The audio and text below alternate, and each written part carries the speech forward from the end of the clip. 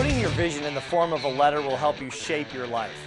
Remember that this is a letter to a friend, not a list of goals or bullet points of things you want. You're telling your friend the story of how you made your dreams come true and how it feels. Even the most analytical, left brain personality should be flooded with emotion after reading their vision. The next step is to read your vision every day for the next seven days.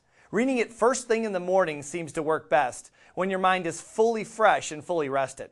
What will happen is you'll begin to think about your vision during the course of the day. The more days in a row you read it, the more often you'll find it popping into your head. And if you really want to get on the fast track, read it a second time right before you drift off to sleep. You know exactly what will happen. That's right. You'll start to dream about it. If you think about it from a scientific point of view, what you're doing is directing your mental energy toward what you want to accomplish. You're inundating your conscious and subconscious minds with the words and images you've chosen to concentrate on. While your competition is watching the latest reality TV show, you are systematically programming your brain with detailed directions of what you want for your future to look like. And since you've written your vision in the present tense, your subconscious mind thinks it's already happened because it doesn't have the ability to distinguish between fantasy and reality. That's why you get frightened at a scary movie. The subconscious sees the movie screen and thinks the threat is real. Your conscious mind overrides it, which is why you don't run out of the movie theater screaming. But the subconscious must accept the words and pictures you feed it. It's just a robot uh, when it comes to neurological processing abilities, the subconscious is millions of times more powerful than the conscious mind. It's like King Kong versus a mouse when it comes to directing and controlling our behaviors. I'll give you an example. One of the ways brain researchers measure the power of the conscious and subconscious minds is by their capacity to process environmental stimuli or anything we can experience through our senses. The conscious mind can process 40 stimuli per second. The subconscious mind can process 20 million stimuli per second. That's why you've always heard how important the subconscious mind is to success. All of this science adds up to one thing in the vision process. Reading your vision every day will get both your conscious and your subconscious minds working on achieving it even while you're asleep.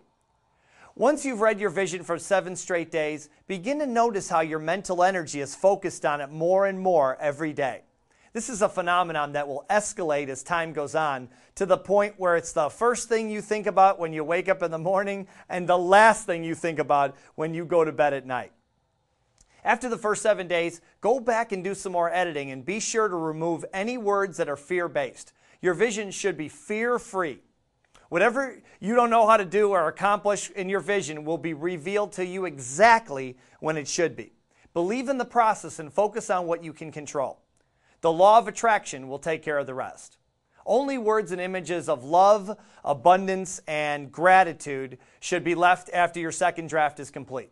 Continue reading your vision every day and update it at least once every 90 days or sooner if you wish. What you can expect to happen over time is the answers to the problems you must solve to manifest your vision will be revealed to you one by one, and the behaviors you need to alter will change. At first, you may believe it's just a coincidence that things that you've written about in your vision seem to be manifesting themselves on the physical plane one after another. Of course, what you're really experiencing are the laws of quantum physics taking over. You, in the words of a quantum physicist, are literally creating your own reality. After a while, any doubts you might have had will come to an end, and you'll find yourself preaching the gospel of vision to everyone who will listen.